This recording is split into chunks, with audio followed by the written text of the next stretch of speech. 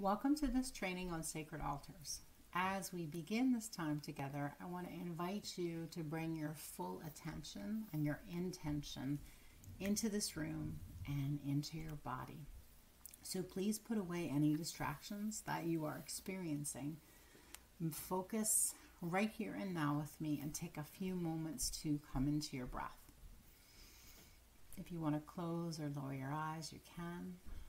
Breathing in through your nose and breathing out through your mouth.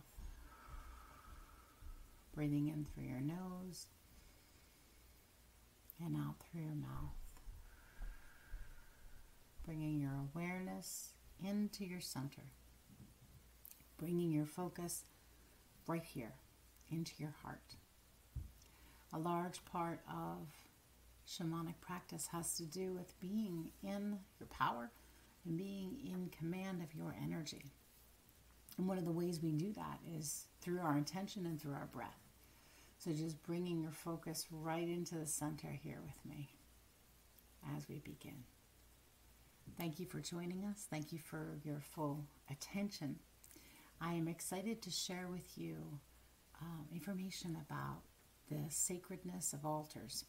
What I'm going to be sharing is the purpose for creating sacred altars, the meaning of what's placed on them, the power of the directional energies, and the practice of creating something that's called a spirit house, which is usually placed on or near an altar. So, uh, as we begin, and as we began with the breath, I want to remind us that sacred spaces that we create in our homes, in our places, in our um, in our lives, this the sacred spots that we create are important, and equally important is the sacred space that we create within ourselves. And so we just laid a little bit of groundwork for creating the sacred space within ourselves. Coming in with a focus, breathing, and then opening up. I have my palms up. I don't know if you can see them. Opening up to the divine, opening up to spirit, creator, God, goddess, the life force. That allows us to create a sacred space right here and now. And as we do that, we create um, we create the opportunity to understand and for this information to move in a little deeper into our minds and our hearts. So, altars have been known to humanity for as long as humans have been in reverence, in worship, in relationship, in devotion to and with the divine, in whatever form and shape and whatever label we put on it. It looks a little different in China than it does in Africa. Looks a little different in um, North America than it does in Mongolia. And of course, it's going to look a little different. Altars are going to look a little different depending on what your religion, spirituality, your culture, your practice looks like, right? But there are a couple of uniting factors in the purpose of creating an altar. And one of them is to connect with the divine. No matter where you come from and what your practice and belief is, there is a understanding that people are able to connect with the divine. So altars help us connect with the divine. They also help us to honor the divine and have a place for holding reverence, not just in our hearts, but physically, a space and a place for holding reverence for what we consider to be holy. The altars also allow us to interact with the divine in specific ways that I'll share in a moment. And they also allow us to call forth and welcome in the energy of the divine. We set up that space and it becomes a rich and vibrant place to welcome in all that we hold sacred large communities, large community altars are often built within a shrine, which is a large structure that's devoted to the spirits or devoted to the gods. In a church, which would be considered a shrine, an altar is placed inside a church. in a Buddhist temple, which is considered a, a shrine or could be considered a shrine, altars are placed in the temple. And many have particular rules. Uh, many traditions, cultures have different rules, particular rules for community altars versus personal altars. Personal altars are often more relaxed than community altars or altars that are dedicated to specific deities or spirits per tradition. And altars look different depending on traditions. If you're looking at a Catholic altar, you're going to be probably experiencing candles, pictures of saints, and icons that depict Jesus and Mary and the Catholic um, uh, pantheon of beings, right? Um, in Buddhism, there is something that's called a Butsudan. I may be pronouncing that wrong, but that's okay. I'm not a Buddhist. that has a scroll inside uh, a box with doors. And the scroll is considered sacred and has holy words on it. And in front of that scroll, there might be fruit and incense placed. Very different from the candles and the pictures of Jesus, right? On a Catholic altar.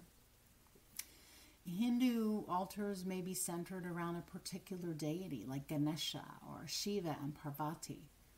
And that altar would look and feel like the energy of that deity because it would be devoted specifically to that one deity. In the neo pagan practices, pagans are folks who are of connect with spirit, God, creator through the earth. Um, and a lot of them follow a path that leads them to the divine through both a masculine and feminine, which they label God and goddess uh, energy, and the elements. So you may find depictions of those pieces on someone's altar if they are a modern practicing pagan. In shamanic, on a shamanic altar, you're going to find uh, representations of the spirits of a personal shaman's path. Um, spirits of nature, energies of nature, personal spirits, ancestral spirits are those energies are going to be honored on a shamanic altar. So as you can see, altars look different if they are for um, they look different for different reasons and with, within different paths. The meaning of what's placed on the altar also has significance, and that also varies depending on who is creating the altar. And altars are often faced in a particular direction, which is uh, largely due to um, tradition, and it's also largely due to the energy that the different directions represent. So, by the directions, I mean the north, the south, the east, and the west, the four directions um, that also correlate to elemental energies water, fire, earth, and air. The East is known for newness, and that is simply because the East is the place, no matter where you are on the planet, where the sun rises. The sun rises in the East. Um, the sun also sets in the West. And so there is a rising and a falling that happens in the East and the West. And depending on how you you you can situate your altar or people situate their altars um, according to the energy of those directions. And those are just two simple examples of um, directional energies. Personally i like the energy of the north and the east for for my um, for placing my altars I also personally like to place my altars near a window because that's what feels good to me. I can look outside and into uh, the outside, into the sky, into nature. um, there are uh, on. I lost my place. How about that? so I'm talking about the meaning of what's placed on them. First, I talked about the meaning of the direction that the altar is facing. Uh, that is very specific according to tradition. An example is the east is where the sun rises, the west is where the sun sets, and that may factor into where someone places an altar. Sometimes altars um, are placed facing in certain directions uh, based on what uh, based on what a personal belief is. So, on an altar, you will find a variety of items and objects. You will often find a cloth that's on top of an altar. It may be a significant, it may be a certain um, material. It may be knit, it may be woven, it may be a piece of cloth that came through the family line. There are so many possibilities for what that altar cloth could look like. It's a covering, almost like a tablecloth for a dinner table. It's a covering, and it lets you know that you're moving into that you're creating something sacred, and sacred items are going to be placed here. The energy of an uh, altar cloth that has been passed down through generations is, is that you get the energy of the ancestors and all of that meaning in that cloth because it's passed through so many hands. Um, sometimes people will put some um, a scarf on their altar in lieu of an altar cloth, and that scarf represents the covering of the, or is the covering of the altar. Many people will change out their altar coverings depending on the ritual or the celebration that's happening, or depending on the season. I know for me, I will change my altar cloths out seasonally so that I have a little bit of seasonal energy in um, my altar cloth. I also have a few altar cloths that were made for specific reasons for me, and I will put them on my altar when I'm guided to or when the time is right. So, in addition to that, so we've got the altar facing a certain direction, we've got a cloth of, of some sort that covers the altar, and then we have the possibility or the likelihood that there will be statues on the altar. Statues of gods and goddesses that are central to um, someone's beliefs, uh, statues of deities that are central to someone's belief, statues of spirit animals that are central to someone's beliefs. Um, that may or may not include sacred objects that are in relation to a spirit animal. It is common on a shamanic altar to see um, representations of different animals, but also to see parts of animals such as wings or bones or claws or skulls, because those pieces hold the energy of that animal. And um, having them on the altar helps a person to connect with that energy. Now, typically with shamanic practices, when someone has a claw or a feather or something that has come from physically from the body of an animal or a bird, that animal or bird has been honored and a ceremony has taken place so that the shaman or practitioner is in right relationship with that animal so that they can connect with that part in that way. Sometimes on an altar, there are things that your deities or your uh, spirit helpers request. Those may be, oh gosh, I think we're going to cover that in a minute. They may be um, anywhere from food to water to pictures to things that, that honor that personal deity or personal spirit animal. There's often some type of fireproof shell or plate for burning herbs, incense, um, natural materials that are um, burnt for ceremonies and different practices. Um, so that is a so those are some of the things that you will find on on an altar. Things that represent directional energies, that represent that which is being honored. Um, also, things that are represent the uh, offerings that are made for those energies that are being honored. Um, just looking at my notes here. I want to talk a little bit about the power of the directional and elemental energies. I may have mentioned it earlier, but um, particularly in shamanic practices and in modern day pagan practices, the elements are life. The water is very connected to our blood. Water is, our bodies are also made up of 80% of water. And um, so, water is very much an inherent part of us. Water is um, also represented in our blood because our blood is liquid. Water is a source of life. Food comes from the waters and also the ability to cleanse ourselves, to clear ourselves, to um, is all present in the water. Emotions and working through and with emotions are regarded to be water work. We connect through to our emotions through water and with water. Our intuition is often associated with the energy and the element of water. So, all of those associations connect us with water and are understood to be worked with when we work with the energy of water. So, someone will, um, people will often have a dish or a bowl that has water on it. And that's for a couple of reasons. To honor everything I just mentioned about water, uh, and also to offer in uh, to offer prayers and blessings for the water. I know for me, I have a bowl of water always on my altar.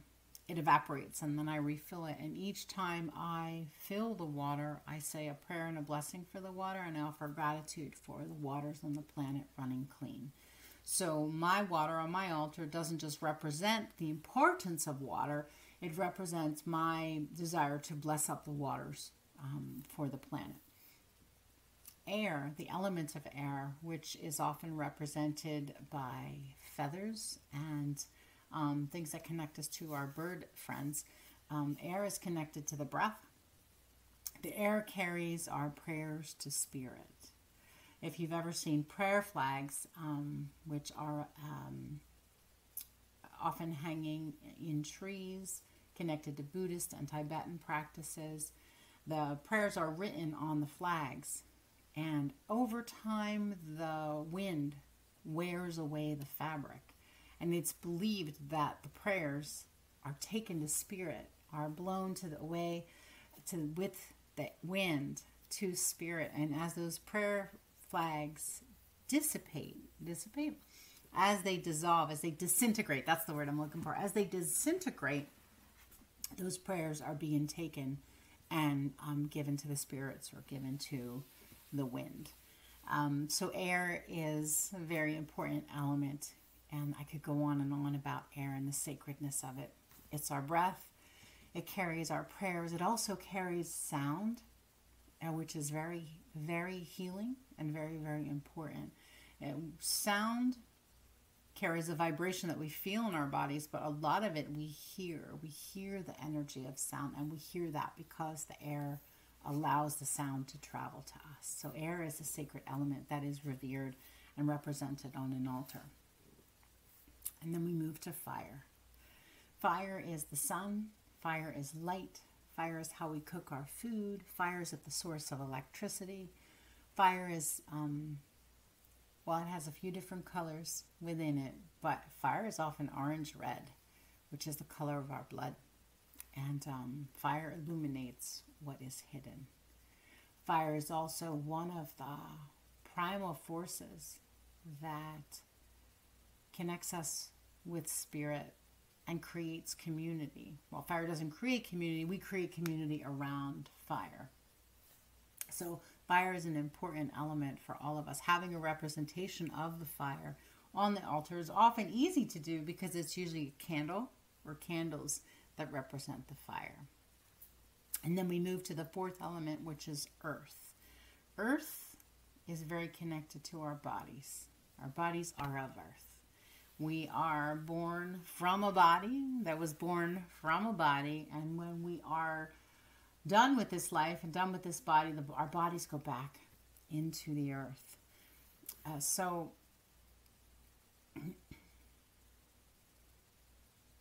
the earth is the energy of the earth is found in the trees, it's found in the rocks. I have uh, rocks on my altar. I'm looking over here because my altar's over here. I have rocks on my altar, some of which I've just found and they speak to me, some of which I find and I know that they're going to be used for healing, and some of which are painted with um, different uh, uh, spirit allies that I'm connected with. I'll go into that in a little bit. But I have a lot of rocks on the altar. They're very grounding. They remind us to be in our body and they help to pull us into our own truth. So those are just a little bit, that's just a little bit of a explanation of, around the elements and how the elements really are connected to our lives and how having representations of them on the altar connects us to all life but drives us further into our connection to ourselves and the natural world when we are in a good relationship with the elements, when we honor them, we are in harmony. Right now, we are not in relation right relationship with the elements um, at, on the planet right now. We're just not. We are almost at war with the water and the earth.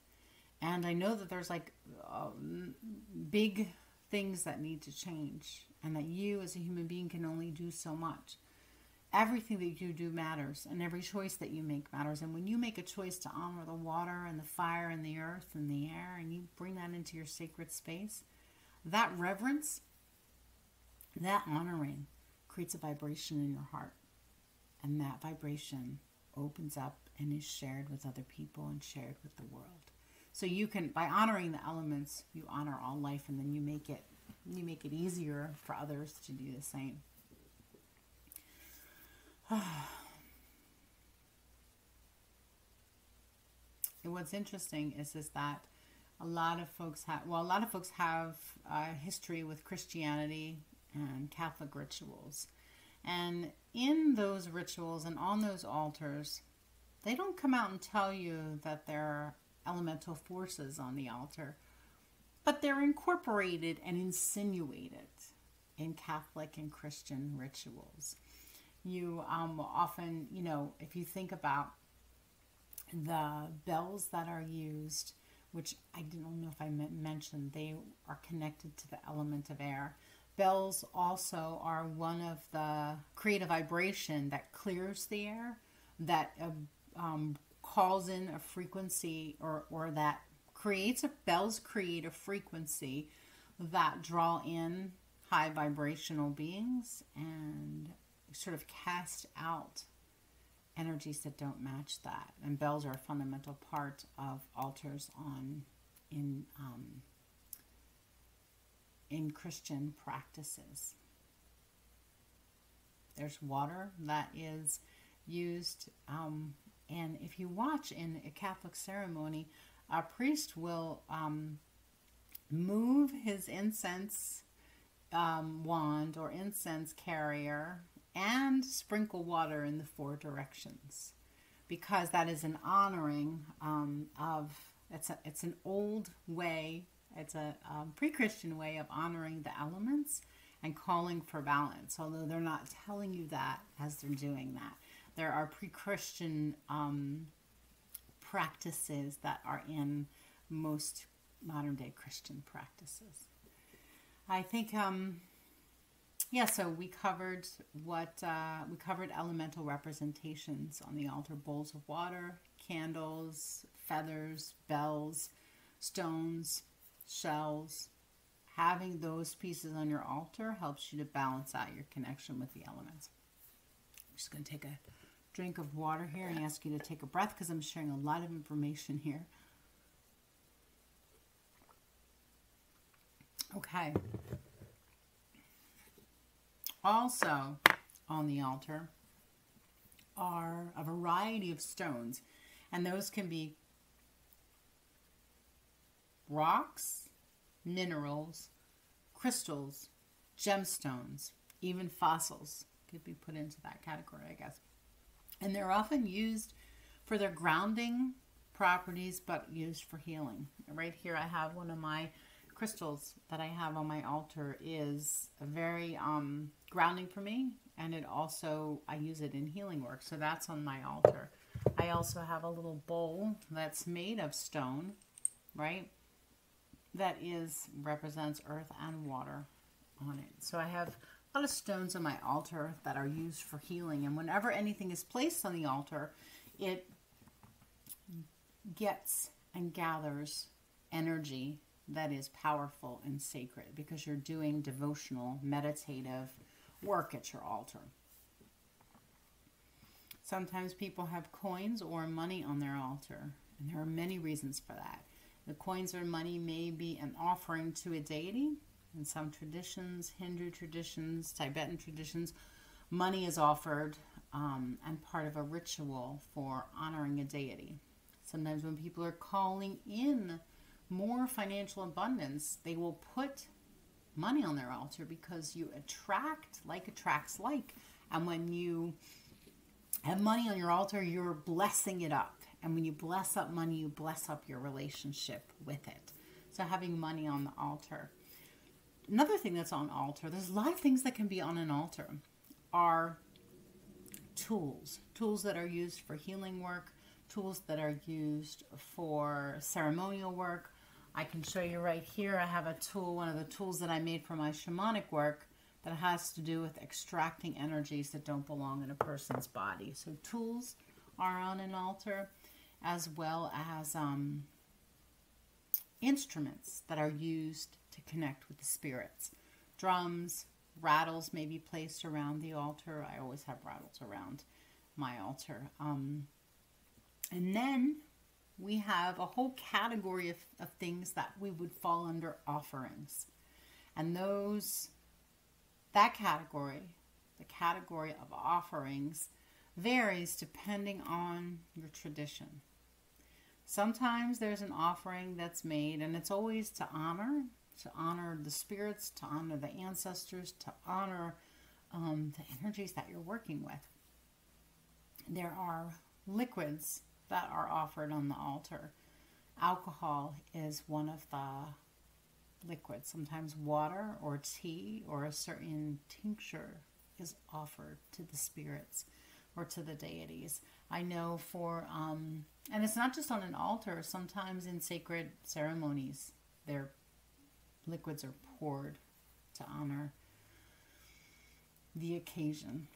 Um, I know in on my father's side of the family, which is uh, comes from Ireland, alcohol is poured on people's graves to honor them. And um, alcohol can be found um, and poured as a libation on an altar for a deity or for an ancestor. Sometimes there are specific foods that are offered on an altar. Foods that are either requested by a spirit or a deity, or they are part of a tradition that your grandmother or grandfather taught you. So, those foods can be sweets, they can be candies and honey to represent the sweetness of life or to honor a deity who likes sweets. Um, they can be the favorite foods of an ancestor, sometimes at specific times of years. Uh, shamanic people, pagan people, earth centered people will put foods that their ancestors loved on their altar. I know for me, my grandmother, who I am was very close to, she likes these little orange slice candies. And so when it's ancestor time, which in my experience and spiritual belief is in the turning of the seasons at fall, October, November, I will honor her by putting orange slices in a bowl next to her picture on my altar. Another thing that is offered is flowers. Um, flowers to honor the dead, flowers to honor the spirits. Um, incense is also honored.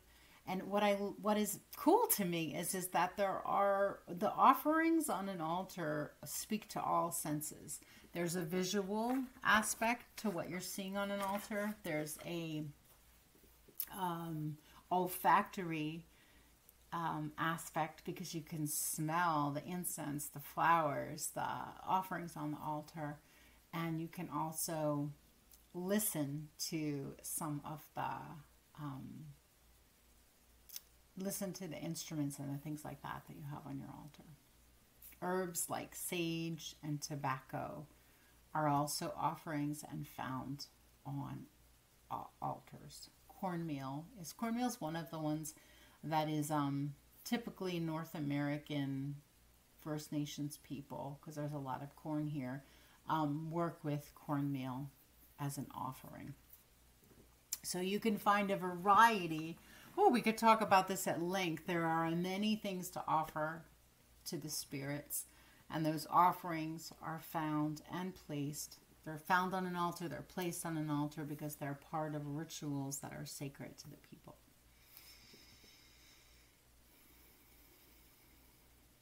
Okay. The last thing I want to talk about is something that's called a spirit house.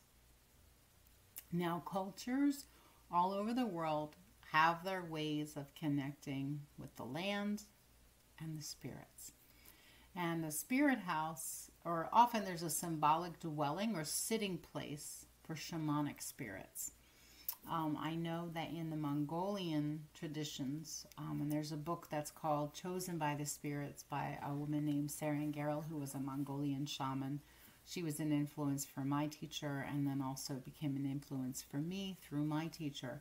Um, talks about the um, Ongun, which is a spirit house, which um, I'm getting ahead of myself a little bit now, is a symbolic dwelling or sitting place for shamanic spirits. It's a tool for interacting with the spirits.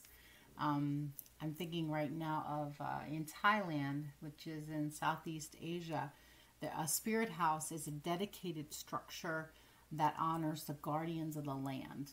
So it's made for a particular spirit, um, and it literally looks like a little house or a little palace. Um, people's modern lifestyle in Thailand includes this, um, and they're found all over um, in that region. In front of the houses, they're um, placed, and offerings are made daily to them of coconut milk and rice. I think only like a priest or a, a certain kind of priest or a master of ceremony can install or take the spirit house down in that tradition. In Mongolian tradition, I got a little ahead of myself. The Ongun is a spirit house and it's a physical extension of the spirit for which it's made. It's created by the shaman and it's worn, carried, or placed on altars. Um, my teacher, Becky, will often um, create a spirit house and Ongun for um, her spirits through her craft of beading. She doesn't create a structure per se, but she will bead um, an animal part or something that's connected to her spirits, and then that becomes her spirit house. And she wears it or has it on her altar, and the energy of whatever spirit it is, spirit ally that she's working with, is in that piece that she's made it. I have painted stones that represent my spirits. Um, typically, spirit houses are created out of natural item and natural items, and the spirit of the ally is brought into that house or that object. And then, if we're really traditional in Mongolian practice and also in the practice from Southeast Southeast Asia, they're fed, the spirits are fed with a little dab of honey or a little bit of oil. There's a celebratory offering that's given because it really is believed and understood that the spirit and the energy of that, that ally is in that stone. Um, and lost my train of thought in that tradition, in the Mongolian tradition, it's understood, as far as I'm aware, that anybody who touches a spirit house will be able to connect in with your spirits that you work with. So if you don't want people to do that, you don't let them touch your spirit house. You keep that for yourself.